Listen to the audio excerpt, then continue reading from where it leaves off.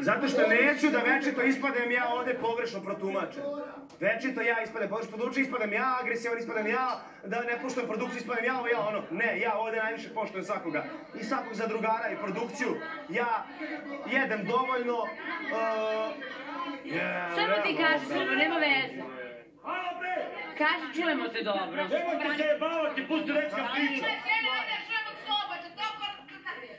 Slobo, izvoli, slobodno ti kaži, pusti, nema veze. Ovaj, samo sam, znači, to veze nema sa tom pričom, ja sam zamerio Mići, mene je to, najviše me zabolilo to, zato što sam ja razumio da on meni govori da ja nikad njemu ništa nisam dao. Ja znam da ja svako ko mi se obratio, da sam mu ja dao poslednje.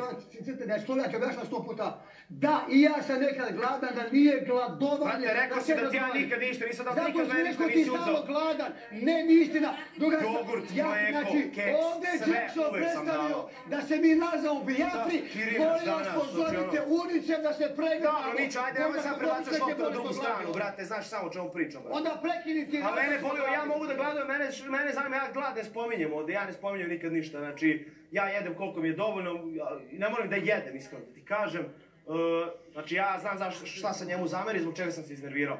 Zbog toga, jedino sam se iznervirao da ne, da ne skrenemo priča na neku drugu stranu, totalno, da ja ispadem da ja sad tu nešto I jedino što me zabolilo, to što svi mumlaju u bradu, niko neće ustati da kaže ništa. Ja jedini ustajem ovdje i kažem i Mići svima šta mislim, ja se posveđam iskreno. Svaki put kad se pozivam, ja se posveđam iskreno.